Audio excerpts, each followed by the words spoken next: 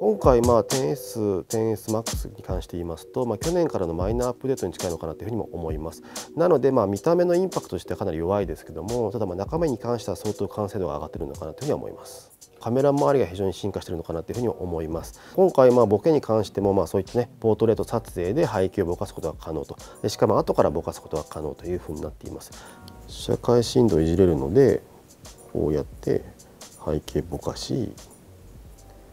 これでより背景クッキーみたいな感じですねこれまあ実際にはまあファーウェイが先にやってるものだったりもしますので、まあ、決して先進的というわけではないんですけどもただまあ自然な色合いでまあそういった背景をぼかすことができるというところでいうと iPhone ならではの特徴なのかなというふうに思います。やはりまあ有機 EL 非常に美しいかなというふうにも思います。でまあ実際自分が撮った写真も美しく見えるというところで言うと、まあ、これに慣れてしまうとなかなか液晶に戻れないというところがあるのかなというふうにも思いますね。